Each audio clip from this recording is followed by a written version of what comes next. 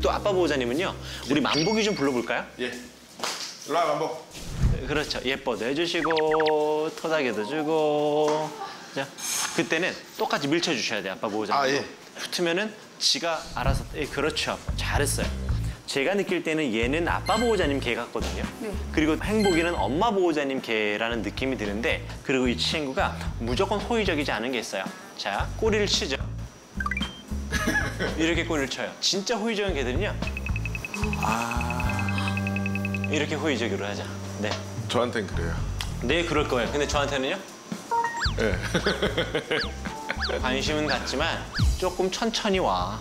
천천히 하자. 그리고 지금 이 친구가 계속 배회하고 서클링 하죠. 이거 뱅글뱅글 동고 뱅뱅글 도는 이유도 워워워워워워워 가까이 워워워워 이런 느낌이 좀 있어요.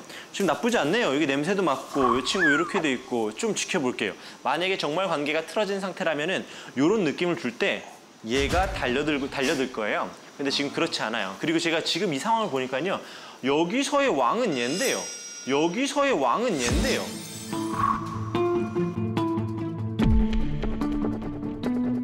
여기서의 왕은 얘고요. 이 친구는 아무것도 못하는 게예요. 근데 보호자님만께 안기기만 하면은 문제가 생기는 것 같아요. 네. 근데 오늘 이게 지금 보니까 말이죠. 네. 일찍 꺼낼 것 같아요. 어 어떤 점을 보셨나요? 아주 불륜 보니까 네. 개들이 의외로 몇 가지만 해주니까 어, 순조롭게 순조롭게 정상적인 자리로 돌아가잖아요. 그리고 이 가족들이 적극적으로 지금 임하고 있어요. 오케이. 그러면 얘네들을 네, 두 마리를 놔두고 네 분이서 외출을 할 때는 언젠가요? 없죠. 없어요. 왜요?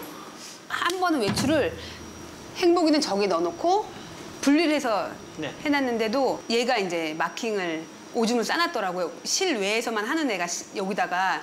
근데 얘 오줌 싼 자리에 만보기가 덮으면요. 만보기는 양이 어마어마해요. 그래서 저희가 이제 그때는 일이 더 많아요. 그렇죠. 그래서 외출을 아예 손에 세 번도 해본 적이 없죠. 다 같이. 어허. 차라리 캔넬을 하나 둘 놓고 하우스 하우스 그문 잠그고 식사라도 하고 그러면 되잖아요. 저희가 아직 캔넬을 사용해보지를 못해가지고 어. 캔넬을 사용해 본 적이 없어요. 아, 처음에 했었지, 애기들 아. 어릴 때. 얘도 둘 다 아기 때 이게 반려견 키우시면서 캔넬을 사용하는 것을 연습을 많이 시켜 놓으시면 모든 게 편안하고 모든 게 행복해요. 평상시에는 한 마리 한 마리, 평상시에는 한 마리 한 마리 캔넬을 이렇게 놓을 거예요. 놔두세요, 놔두세요, 놔두세요.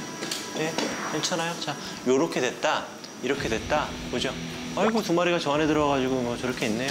전설의 투시 어, 좀 문제 없습니다. 놔두세요. 전설의 투샷이다. 전설의 투시 좀 문제 없습니다. 놔두세요. 전설의 투샷이다. 정말 그 둘이 들어가 본 적이 없어요. 어, 놔두세요. 우선 기본적으로 만보기가 굉장히 저 좋은 게 저 친구의 저 약간 흠이나 약간의 좀 부족한 면들을 이렇게 좀 커버해주는 느낌이 좀 듭니다.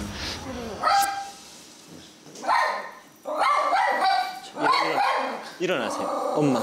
엄마 일어나서 저 친구한테 가서 막으세요. 지금 얘 툭, 얘, 얘 툭, 얘, 얘 툭, 얘 지금 자 와. 아 기가 막히네요. 얘가 하네요. 얘가 하네요. 지금 얘가 하잖아요. 그 얘가 하는 걸 보호자님이 해야 돼요. 하세요. 네. 아, 예, 쭉 껴주세요. 껴주세요. 그리고 지금 엄마가 안 하니까 얘가 하는 거예요. 또 조용히 해. 니뭐 하는 거야, 이렇게. 네. 적극적으로 껴주세요. 그리고 이러면서 저렇게 얘 저 친구도 막으셔야죠. 네, 막으셔야죠. 네. 얘가 할 일이야. 네. 네.